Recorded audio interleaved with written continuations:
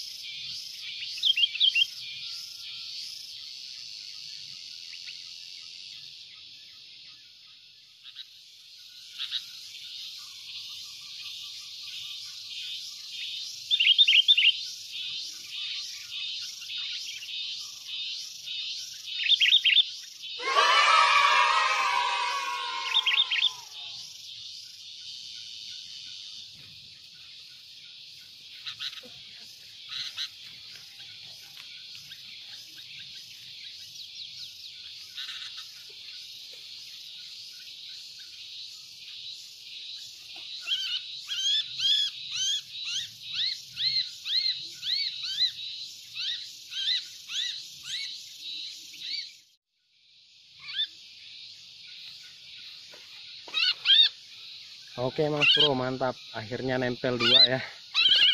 Ini yang satu nih cerewet sekali ini kalau yang cerewet seperti ini yang betina nih Mas Bro.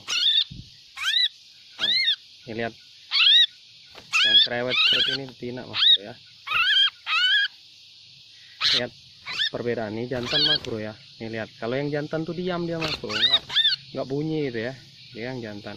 Dan juga bisa kita lihat nih bedanya ya kalau yang jantan tuh paruhnya besar sekali mas bro. Ya paruhnya seperti itu. Dan kepalanya nih wah hitamnya sampai ke belakang sini mas bro. Kalau yang ini kita bisa lihat paruhnya mas bro. Nah paruhnya pendek ya.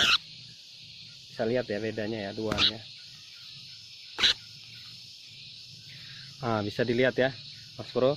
Kelihatan ya bedanya. Ini kepalanya besar dan ini kecil. Ini juga paruhnya besar dan ini paruhnya kecil Oke ini dapat satu pasang mas bro ya. Nah ini mulus sekali yang jantan mas bro. Ini kalau saya mikat biasanya kalau yang apa suka bunyi ini apa namanya positif nih 100% cewek nih mas bro ya. Nah ini kalau yang jantan seperti ini antang aja deh mas bro ya. Nah ini nanti kita mau bawa pulang nanti kita mau apa rilis di dekat rumah karena nanti biar apa namanya di lokasi dekat rumah itu juga ada burung pilang karena sekarang sudah punah mas bro ya burung pilangnya ini kita poin dua ya mas bro. Oke lanjut